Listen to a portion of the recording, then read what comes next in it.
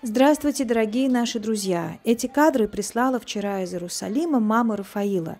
Нет, это не детский день рождения во дворе.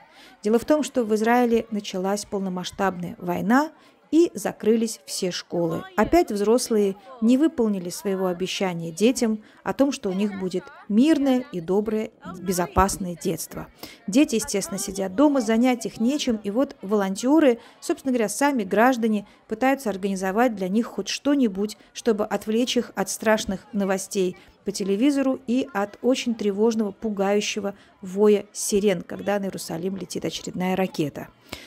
Сегодня мы будем говорить о войне, которая началась в Израиле, которая уже опять второй раз серьезно после ковида изменила жизнь страны.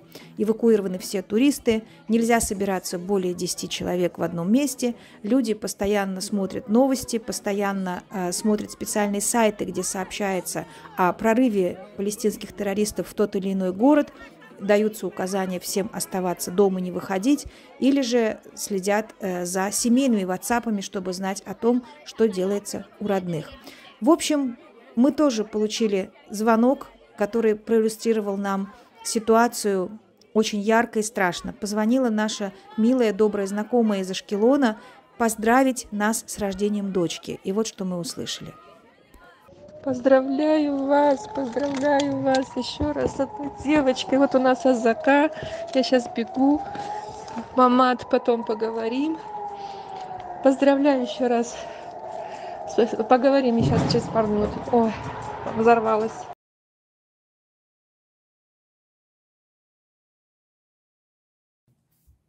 Ну а что же, собственно, произошло в Израиле? Наверное, вы уже знаете из газет, из телевидения 7 октября в субботу рано утром мы проснулись и обнаружили в семейном WhatsApp совершенно страшные кадры от наших родных, которые живут э, в Иерусалиме и в центральной части Израиля, и узнали о том, что террористическая исламская организация Хамас палестинская совершила совершенно беспрецедентную, а, неожиданную наземную атаку на города и деревни израильские, которые находятся около печально известного сектора Газа. Сектор Газа – территория полностью находящаяся под военным контролем Израиля. Там проживает около трех миллионов человек.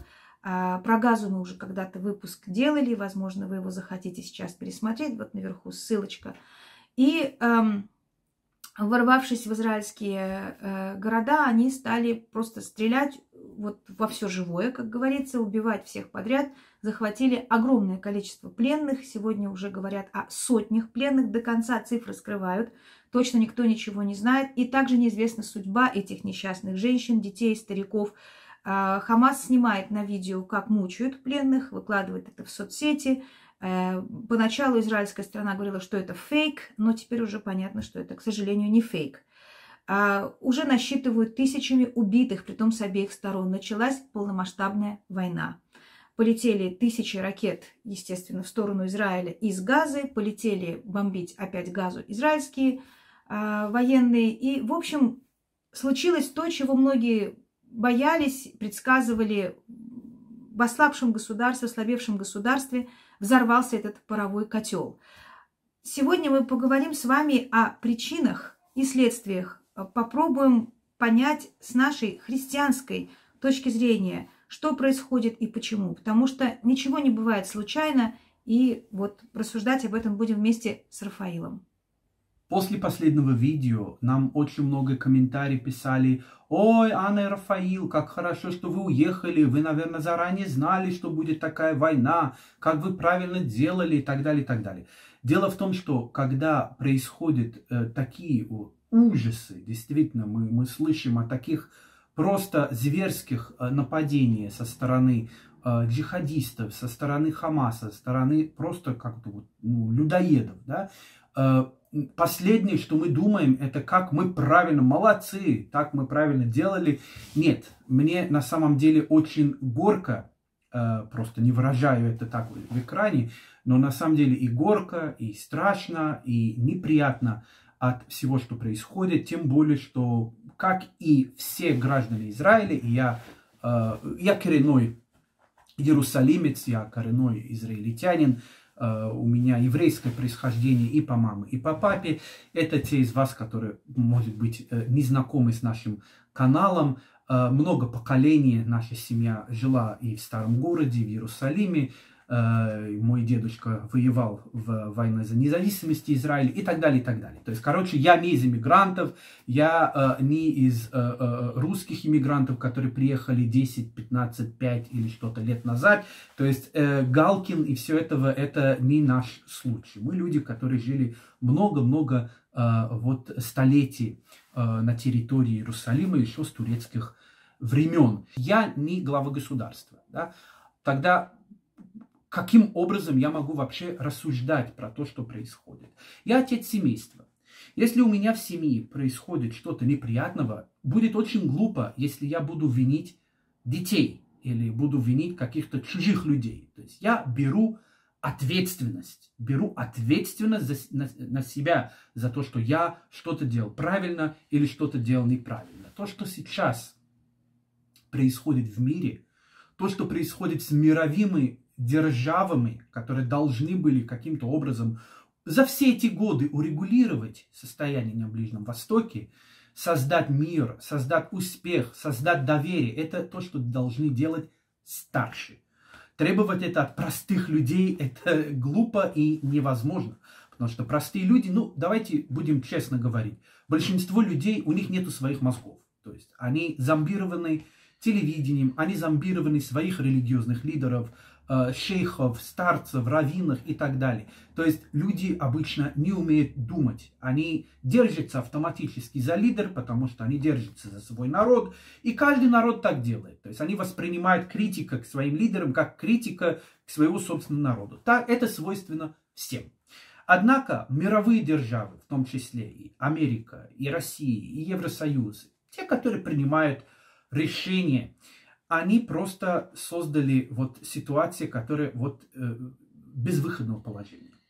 В наши дни государство Израиль не существует как государство. То, что мы думаем, что правительство Израиль что-то предпринимает или не предпринимает, это все как бы, э, это не так. На самом деле Израиль, как всегда было, так и есть сейчас. Это некий такой городок, городок на идише называется штетель. Если штат по-немецки это город, штетель это городок. То есть это означает некая автономная территория, которая управляет э, старейшин вот еврейской общины. И вот самые знаменитые, как бы вот э, еврейских, э, бывает и, и иронических и комических рассказов, это про городка Хелем, где все предпринимают неправильно. Вот такие милые евреи, которые как бы все делают неправильно. Это все очень мило, но когда это делает государство, которое является еще и ядерной державой, пока единственной ядерной державой на Ближнем Востоке, это уже не мило и это уже не смешно. Иными словами, несмотря на то, что я считаю, что джихади, джихадисты, мусульманские джихадисты, это наши враги, и что Хамас это однозначное э, зло, и что то, что делает правительство Иран, который является главный спонсор вообще терроризма по всему миру, это тоже зло, и что, увы, русские, в том числе их президент, приняли тоже решение быть на стороне Ирана, на стороне Талибана, на стороне Аль-Каида, на стороне э, Северной Кореи, на стороне, то есть тоталитарных Э, э, таких держав, несмотря на все это, ответственность за то, что происходило, вот когда вот ворвались э, э, э, террористы из сектора Газа и стали просто устроить этот погром, резню, где убивали больше тысячи мирных людей, ответственность на это лежит в первую очередь на представителей государства Израиль, которые довели огромной территории, почти 3 миллиона человек, которые живут, сектор Газа, который как бы находится под осадой, вместо того, чтобы попробовать создать альтернативу, вместо этого довели как бы вот население, то, что большинство из них сейчас, подавляющее большинство э, жителей сектора Газа поддерживает зверство Хамаса. То есть обезумели этих людей. Кому это нужно? Зачем это делали? Дело в том, что сейчас в Израиле премьер-министр – это человек, который, э, вот, в принципе, преступник. Вот последние, как бы, вот уже полтора года бывает еженедельные акции, демонстрации, чтобы убрали Биби, чтобы его судили, потому что человек, по идее, должен был уже сидеть в тюрьме. И вот человек этот через его дружба с Катаром, через его дружба с Путиным, через его дружба с Эрдоган, через его дружба, да, косвенная дружба, но с Хамасом он разрешил Катар давать очень много денег для того, чтобы поддержать, кормить Хамаса, и для того, чтобы они рано или поздно совершили вот такую вот атаку. Почему Биби Нетаньяу это нужно? Дело в том, что, смотрите, Путин, например, да, он практикует дзюдо. Да, дзюдо. Нетаньяу нам неизвестно, практикует ли он дзюдо, э, дзюдо, но с точки зрения теории дзюдо, я думаю, что Нетаньяу в этом очень хорошо разбирается. В дзюдо, в отличие от других способов э, э, восточного единоборства, есть вот такой прием, что ты используешь вот эту силу, которая вот тот, который тебя атакует, вместо того, чтобы его э, вот выгонять или бить, ты наоборот используешь, такая философия и практика, ты используешь его собственный вес, его собственные силы для того, чтобы ты его потом подавил. То есть, иными словами, это именно то, что сейчас делает Нетаньяу. Для того, чтобы решить раз и навсегда палестинский вопрос, он сейчас имеет полная как бы поддержка и от народа Израиля, и от мирового сообщества, чтобы просто закончить как бы полностью как бы уже 2,5 миллиона населения Газа и надеяться также делать то же самое с населением западного берега реки Иордан и закончить тоже с палестинской автономией. Почему? Потому что они антисемиты. Почему? Потому что они поддерживают террористов. То, что они сейчас поддерживают террористов, это горькая правда. Но то, что вся эта как бы э, ситуация была сделана для того, чтобы решить немирным путем этот вопрос, это однозначно так. Тут, к сожалению, фанатизм, с одной стороны, еврейский, библейский, основан на Ветхом Завете в основном, и фанатизм мусульманский. Наш канал – это канал христианства и мир. Поэтому тут э, анализ, который мы делаем, он не чисто политический. Он с, с взгляд, который я пытаюсь сейчас как бы говорить очень даже спокойно и очень то есть без эмоций, хоть эмоции у меня кипят, естественно, и семья у меня там есть, и знакомых тоже есть, и, и людей изо всех сторон тоже как бы есть, и в Ашкелоне, и в Сдерот, и в Ашдод, и так далее. Моя семья жила в Израиле с 94 -го года. 13 лет я жила там до встречи со своим мужем Рафаилом, ну и примерно столько же уже после нашей свадьбы. Там родились и выросли мои дети прошла, ну, можно сказать, большая часть моей сознательной жизни взрослой.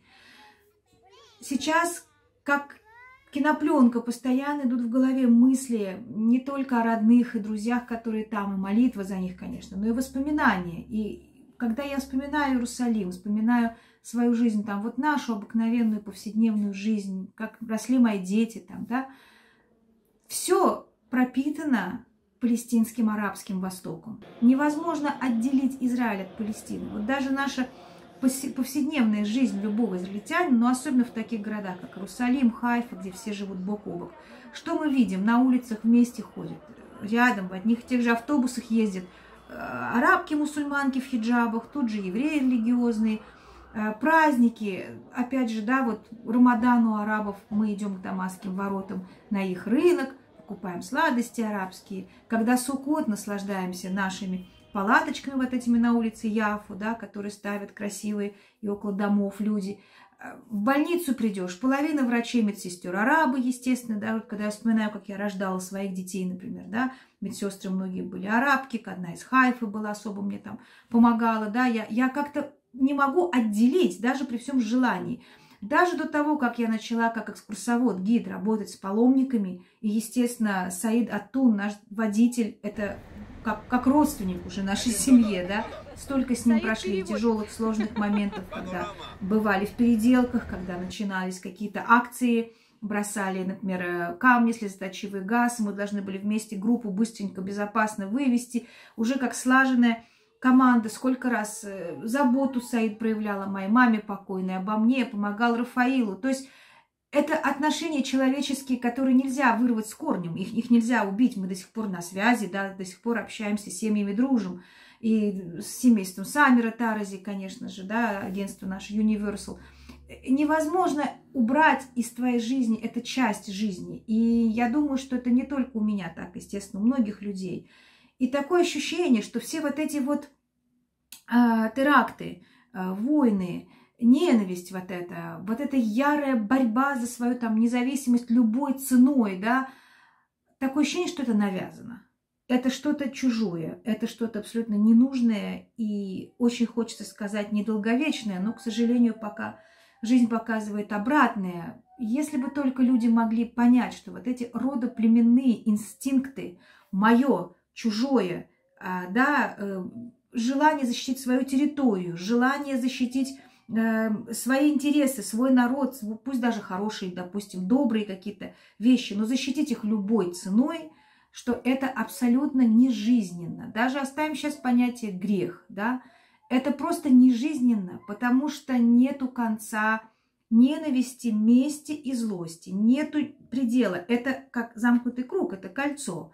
Эм, любая победа, любое прекращение страданий детей за счет страдания других детей – породит опять зло и месть. И это будет до бесконечности, то, что мы, собственно, и видим в израильской модели. И, конечно, безумно жалко сейчас заложников. Слезы льются при мысли о тех, кто сейчас в Ашкелоне под этими обстрелами, в Сдероте, в других, в центре страны. Но одновременно у меня также болит сердце, и мне также жалко палестинцев, потому что тем, что палестинцы одобряют сейчас действия Хамаса, они подписывают смертный приговор Палестине. То есть не будет Палестины, не будет больше вот этого, скажем так, светлого, э, прекрасного Востока, который в Израиле всегда был. И те, кто считают, что арабов надо давно было всех передушить и в море покидать, ну, это люди не очень умные и, скажем так, не очень культурные, потому что на самом деле а, арабская, восточная, вот вся вот наша палестинская, самобытная очень культура, она ценится и она хорошо знакома всем интеллигентным, культурным израильтянам. И такие, слава богу, есть, но, естественно, как всегда, в очень большом меньшинстве. И очень страшно и жалко, жалко арабов-палестинцев, что они поймались, собственно говоря, на эту удочку, и ничего хорошего для Палестины, для народа Палестины, ни для мусульман, ни для христиан теперь, увы, похоже, уже не будет. То, что я вижу сейчас, это что, увы, вот эта война, это на самом деле не просто какая-то территориальная война между э, Израилем и Хамаса, или через даже Израиль и э, э, э, арабы, или между Израилем и Палестиной. Нет.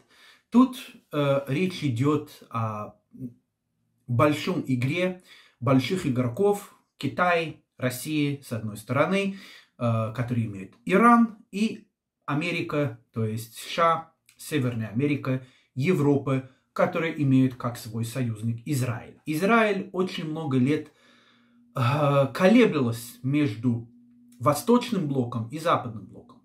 То есть, э, вообще-то Израиль э, когда в момент основания получил помощь именно от социалистических стран, в том числе от Сталина.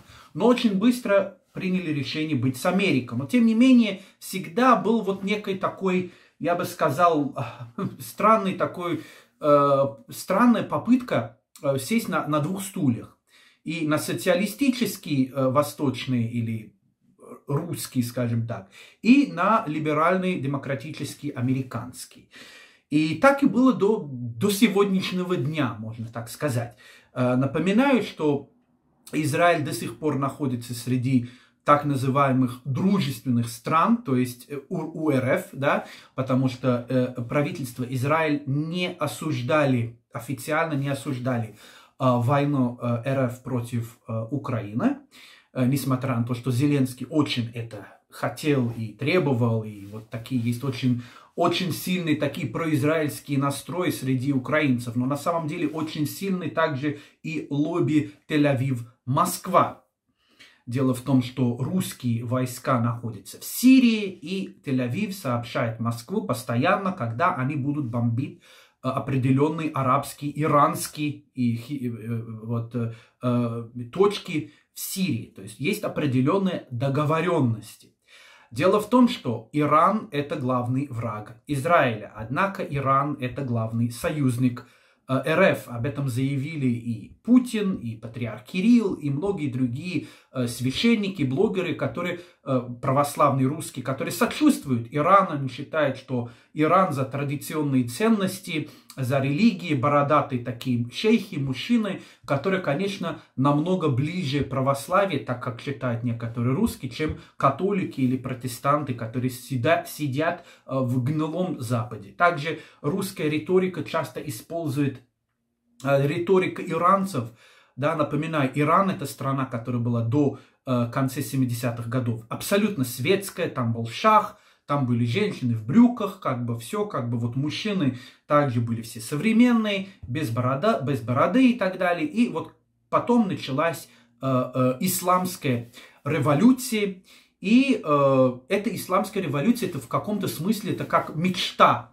э, патриарха э, Кирилла, то есть о том, что религиозный лидер будет все решать, а президент, ну, президент это вот так себе. Короче, Россия соединилась с Ираном, Иран дает России дроны.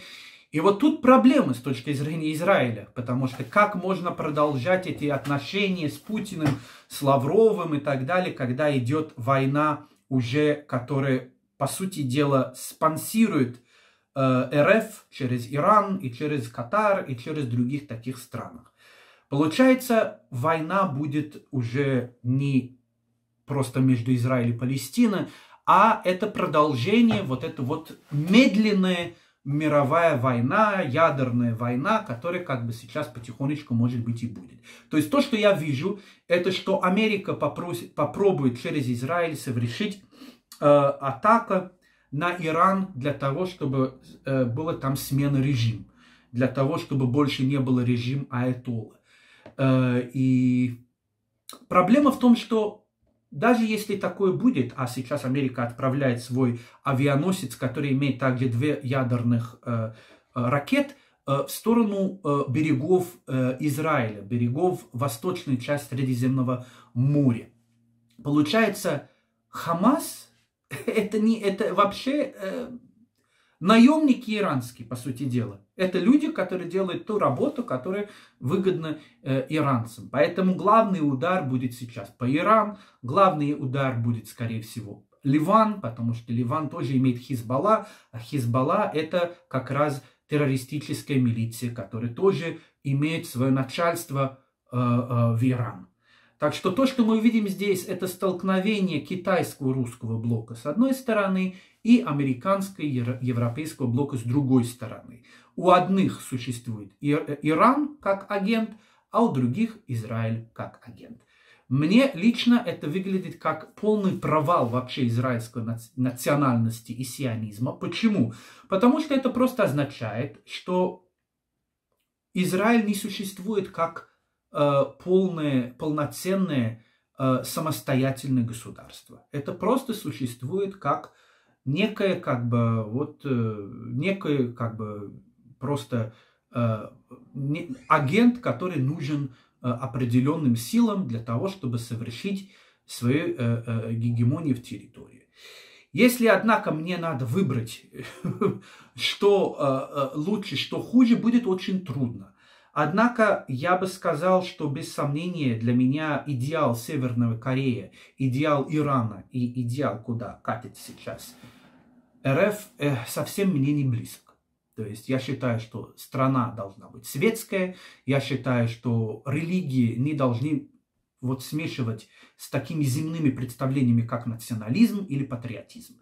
Национализм и патриотизм относятся к земному областью, а религия и духовность это должно быть уже внутреннее дело, а не дело, которое как бы вот заставляет всех граждан, я не знаю, соблюдать субботу или как бы вот э, делать курбан байрам или, или иметь бороды или как бы э, покрыться хиджабом и, и так далее или ходить э, в воскресенье в храм. То есть это не решение государства такие вещи. Так что с одной стороны мы видим тут религиозный тоталитаризм, и с другой стороны Запад, который, да, имеет свои очень большие проблемы, очень большие недостатки. Я бы сказал, что особого какого-то отсутствия пути, который действительно есть. Поэтому люди считают, что Запад как бы вот находится в период падения, и может быть так оно и есть. Но тем не менее, есть та часть, которая поддерживает тоталитаризм, есть та часть, которая поддерживает определенные свободы, да, вот и в этом и есть проблема. Потому что когда ты даешь людям полную свободу, без никаких вообще ограничений, без никаких правил, без никаких законов, без никаких духовных основ, тогда ты сам себя разлагаешь изнутри. Иными словами, э, если смотреть честно и объективно, я не вижу будущего вообще в этой системе. Я считаю, что мир тогда держится только благодаря отдельно взятых добрых людей и святых, тайных святых, которые мы просто о них ничего не знаем. Они, может быть, не являются говорящими головами, которые как бы в YouTube или в Facebook или где-то еще. Они просто, их молитва держится мир. Это то, что верят в этом и христиане, и то, что верят в этом и евреи, и мне кажется, так оно и есть. Были такие примеры людей, как, например, Махатма Ганди, который призывал к сопротивлению, но к мирному сопротивлению. Тебе не нравится то, что делает оккупант, ты объявляешь пост. Сам себя ограничиваешь. Тебе не нравится, как бы, что люди совершили массовое убийство, ты протестуешь мирно и таким образом тоже достигаешь большей цели. Но, конечно, Ганди убили за это националист-индус, убил его, потому что он считал, что он недостаточно сильный, резкий против мусульман. То есть те же самые проблемы. Вот как избавиться от жестокости, как избавиться от вот этого замкнутого круга ненависть, месть. Я, например, не святой человек. Когда я услышал о тех зверствах, которые были, я, честно говоря, сказал, да, да пусть даже стерут как бы э, и газы с лица земли всех палестинцев. Хоть я принципе, хожу в один и тот же храм, как и палестинцы, и, и, и читаю по-арабски, и говорю немножко даже по-арабски, и вообще, в общем-то, как бы не считаю, что они люди э, плохие и так далее. Но, тем не менее, да, вот такие реакции бывают у людей. Мы должны пытаться трезво поступать, трезво. То, что радует, конечно, и это единственное, что радует, это что вовсе-то есть в государстве Израиль и среди евреев, и среди арабов добрых людей. Люди, которые действительно оказывают взаимопомощи, помогают друг другу, спасают друг друга жизни, э, борются до последнего пуля тоже, как бы защищая э, невинных. Есть такие люди, и это очень радует. Но если говорить про государственные системы, если говорить про лидеров, если говорить про те люди, которые на них несет вот ответственность за каждого убитого младенца, и ребенка и старика, эти люди, вот, что я могу сказать, как бы пусть совесть их накажет, если у них вообще есть э, совесть, потому что они довели ситуацию до этого, и когда люди были в состоянии, что на них нападает враг, они не совершили то, что они должны были совершать. Они не защищали слабых, они не защищали тех людей, которые ожидали от них помощи. При этом несколько месяцев и недели до этого они могли призывать армии для того, чтобы э, э, разгонять протестующих против власти. Для этого у них хватало и кураж, и конная полиция, и все этого, как бы, которое очень красиво выглядит. То есть они могли бить своего собственного народа, а, а защищать их от террористов почему-то не могли. Это тоже заставляет об очень много думать. Так что э, в эти дни, в отличие от того, что большинство думают, наших зрителей, я совсем не рад, что я нахожусь здесь. Если бы у меня была возможность финансовая, если бы у меня была возможность тоже на какое-то время оставлять свою семью и детей, я бы, как бы, конечно, поехал бы сейчас в Иерусалим и попытался как бы в разных городах Израиля помогать, э, вот, как могу. Находясь здесь, в Северной Ирландии, в Белфасте, в Ньюри, конечно, Израиля-палестинский конфликт выглядит еще ближе, чем когда-либо. Дело в том, что разные сегменты Северной Ирландии, в том числе и протестанты, которые поддерживают Израиль, и ирландские республиканцы, которые традиционно поддерживают палестинцев как угнетенных, как народа, который пострадал от колониализма, вот конфликт становится еще ярче, чем если бы я был в любом другом месте. Как мы знаем, столица всех городов Европы сейчас там все было освещено израильским, э, израильскими флагами, однако также существует немало людей, которые выражают свою поддержку и солидарность с Палестиной. В Северной Ирландии это особо остро, потому что, опять, как я сказал, вот у э, IRA – это, э, в принципе, террористическая ирландская католическая организация, которая тоже считается как организация за освобождение Ирландии. Она больше уже не существует, но, тем не менее, их представители находятся сейчас в Шинфейн, которая это самая большая партия Северной Ирландии, и некоторые говорят, что в само Республика Ирландия будет самой большой. Шинфейн имеет теснейшие связи с организациями Хамас и имели также тесные связи с э, э, Фатах и с э, э, палестинской разные движения об освобождении Палестины. Когда едешь в Белфаст, там есть э, э, стена, называется стена мира. Это уже сейчас туристическая аттракция, но на самом деле эта стена была построена для того, чтобы разделить протестантских районов от католических. Э, дело в том, что часто совершили нападки друг на друга, вот в 60-е, 70-е, 80-е годы сейчас. Время от времени иногда такое что-то такое неприятное бывает, как бы могут кричать друг на друга, но война в Северной Ирландии уже закончилась. Был мирный договор, э, вот Good Friday Agreement, это как бы вот Страстная Пятница, вот в 90-е годы, как бы вот конец 90-х годов, было 97-й год, если я не, не ошибаюсь, было вот это э, договоренности. Но тем не менее, когда ходишь вдоль этой стены, ты видишь католическая часть, пропаганда про-палестинская, а в протестантская часть как раз про-израильская. Думаю, что это единственное место в мире, где вот это безумие оба как бы вот этих политических Э, э, риторических и пропагандических э, лозунгов как бы можно видеть в одной стене, вот буквально. То, что мы видим здесь, это как бы вот Shankill Road или Falls, это раньше вот эта стена разделяла эти территории, и до сих пор по ночам вот эти ворота закрываются, и проход через них невозможен. А днем там всегда открыто, как бы вот, э, потому что, как я уже сказал, война закончилась.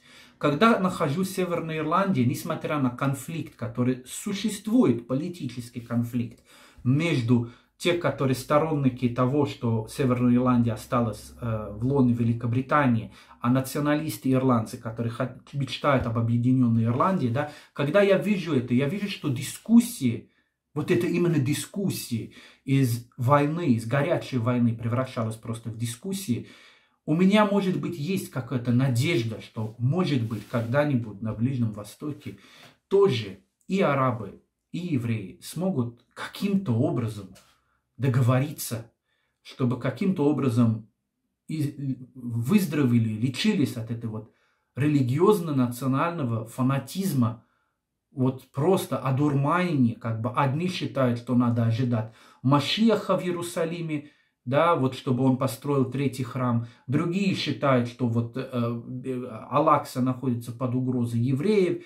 Вот если честно, хочется, чтобы просто даже святые места в Иерусалиме стали нейтральными зонами, просто музеи. Если человек хочет молиться, ну пусть молится где угодно, только не в Иерусалиме. Потому что превратили вот это вот защиты Иерусалима превратили это просто в причину для того, чтобы создать Армагеддон. Так и думают и фанатичные настроенные протестанты, так думают и фанатично настроенные мусульмане-иранцы, и так думают также фанатично настроенные евреи. Ну, мы уже делали видео о том, как религия может быть болезнь. Так что вот моя надежда, это чтобы действительно просто Иерусалим стал обыкновенным городом с историческими замечательными достопримечательностями. И еще лучше, с замечательными людьми, которые там живут и умеют мирно, дружбенно общаться друг с другом. Это моя мечта. Может быть наивная, может быть невозможная, но мне кажется, что это единственное правильное, что можно надеяться в эти дни.